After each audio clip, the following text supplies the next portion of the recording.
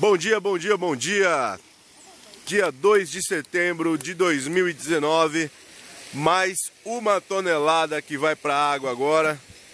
Ontem, terça-feira, dia 1 foram mil quilos. Hoje, mais mil quilos. Amanhã, 500 quilos no tanque maior.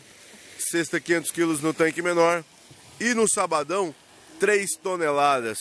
2 toneladas de tilápias e uma tonelada de tambas. Tambas bonitos de 2 quilos até 4 quilos. Top demais. Pescador João Bosco fazendo a marcação da pesagem, a conferência para vocês. Tudo transparente aqui no Varadouro. Semana das 6 toneladas. E o pesqueiro tá lotado, graças ao bom Deus. E vamos que vamos. Mostrar as tilápias para vocês, que é isso que vocês querem ver tilápias de Uraí, Paraná. Vamos dar, fazer uma, a checagem aqui, ó. Olha que beleza. Olha a qualidade das tilápias. Olha, que coisa linda, galera. Show de bola, hein, João? É a alegria do pescador, né, João?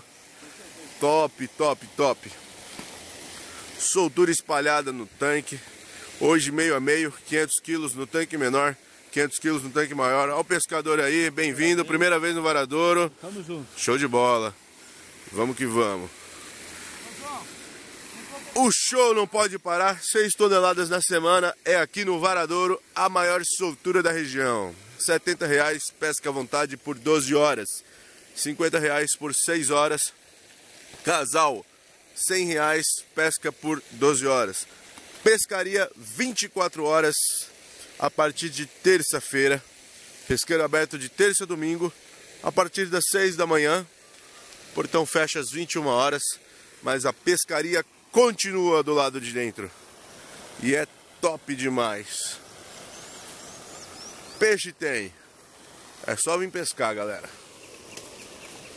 Daqui a pouco eu vou filmar a soltura no tanque maior.